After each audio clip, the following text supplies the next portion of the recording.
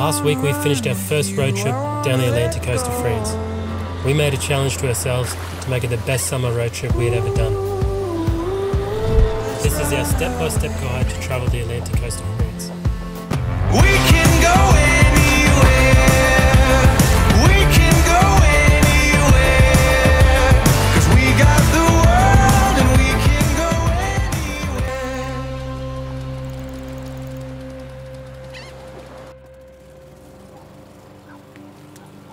Step 1 Organise some friends, your partner, or your family to get ready for the trip of a lifetime.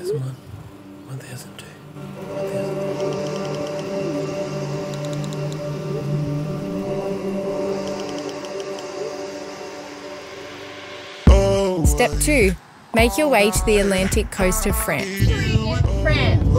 We recommend starting north and heading south. We started in Fécamp, which is the start of the Normandy Cliffs. You awake all night. We made it to our park for the night at Fécamp and it's pretty impressive. Take time out after your drive to relax and enjoy the amazing ocean views from the top of the cliffs. Enjoy a picnic or a barbecue and watch the sunset with a local French beverage. Cider is very big in this region of France, so try your best to find the best cidery close by.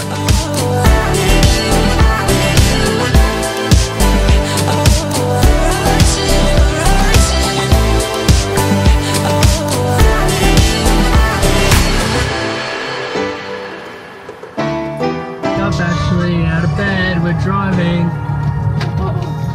Come on. Good morning. I mean, bonjour. Oh, no. Bonjour.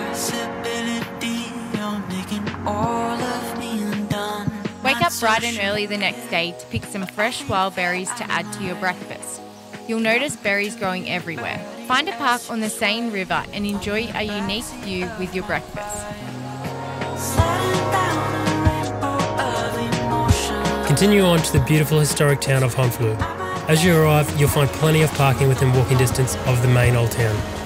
Head towards the port to get a great view of the old city and all it has to offer.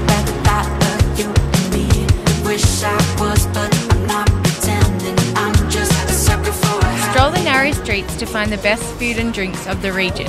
And don't forget to treat yourself with a delicious macaroon from a local patisserie. So lychee flavoured macaroon, very good. Very good. Very impressed. Head towards Omaha Beach and pay your respects at the American World War II Memorial Cemetery.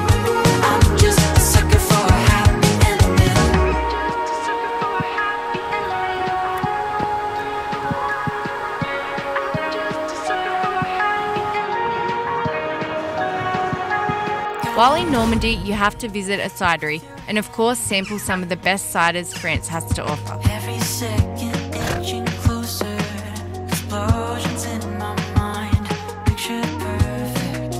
I want it all alert. Continue on to one of the most amazing castles you'll ever see in your life, La Mont Saint Michel. It completely blew us away at how beautiful it truly is. We recommend heading over at sunset to enjoy it in its most beautiful state.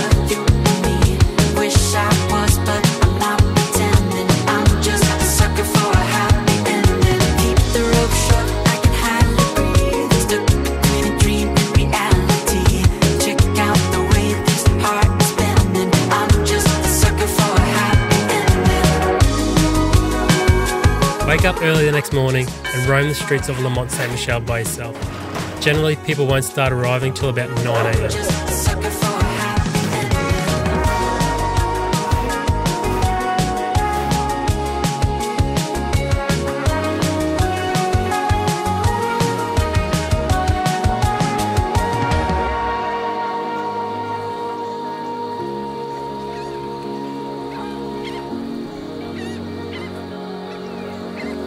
While driving long distances, you'll soon realize carpool karaoke is a must. Every night, every day, I try to. This is normal behavior. We like to think of the next stops as the hidden gem of France, St. Malo and Dinard. We recommend at least a day in each to make sure you don't miss out on anything.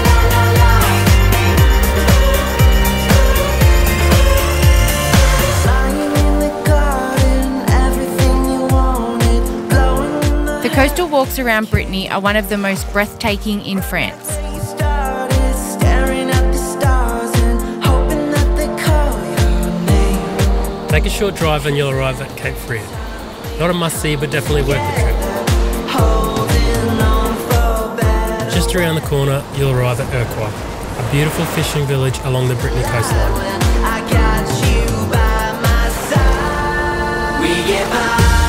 Try your hardest not to get caught in a crazy storm, but if you do, just enjoy it. We're just walking back and a big storm comes through, whipping up the sand.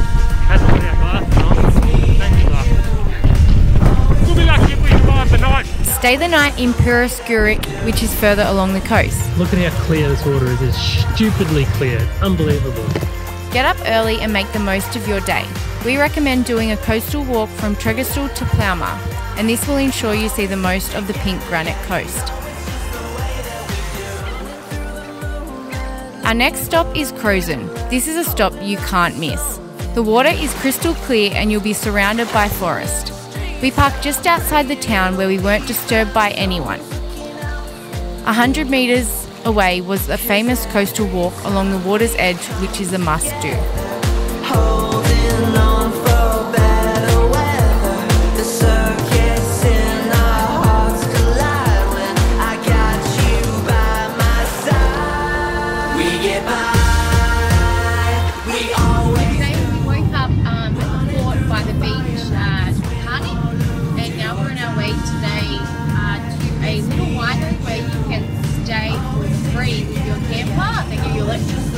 Apparently. The owner gives free tours of his winery and free wine tasting of all his wines. We do recommend you buy at least one bottle and support his business as he supports us travellers. The cheapest bottle is about 4 euro, which really isn't that much. Drive along a beautiful route by the coast to arrive at our next stop, La Rochelle. This was one of our favourite stops and a place we will definitely be going back to.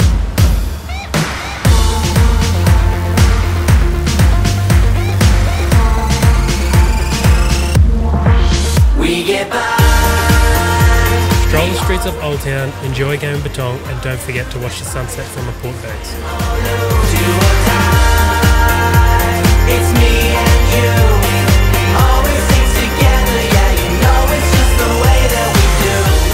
As you continue down the coastline, try not to get lost and end up on a ferry outside of Royan to God knows where.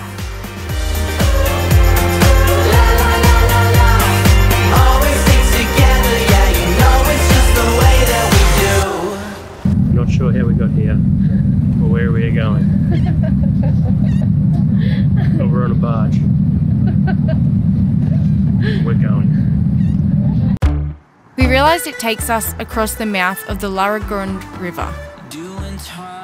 Continue down the coast to a place of vineyards, surf, and beautiful fountains. Yep, we are talking about Bordeaux.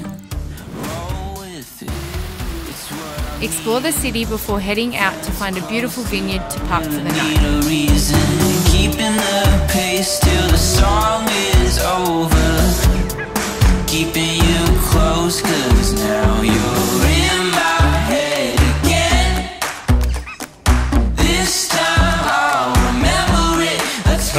Head towards du Pilat, which is the biggest dunes in Europe, spreading out 2.7 kilometres and 106 metres tall. Make sure you climb to the top of the dune and admire the magnificent view.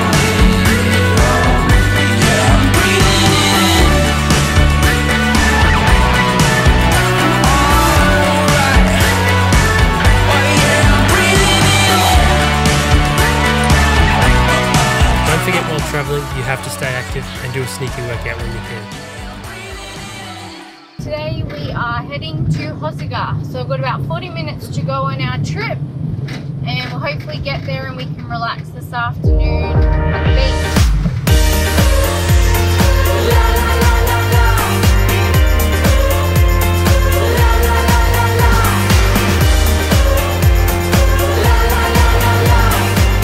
Is the surf capital of Europe, so it's a no-brainer that you have to go and check out the beach and take a surf lesson. Be careful because sometimes the waves can be huge.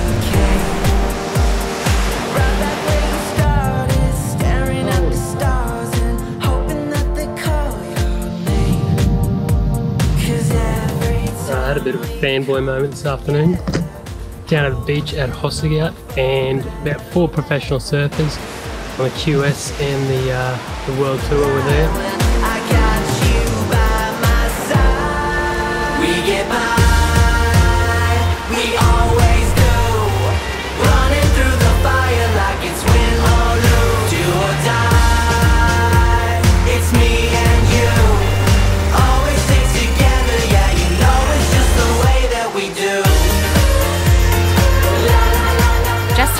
corner from Hossegor is Biarritz, our last stop on this epic road trip. Beautiful beaches and hidden coves are all around, so explore the coastline and have the time of your life.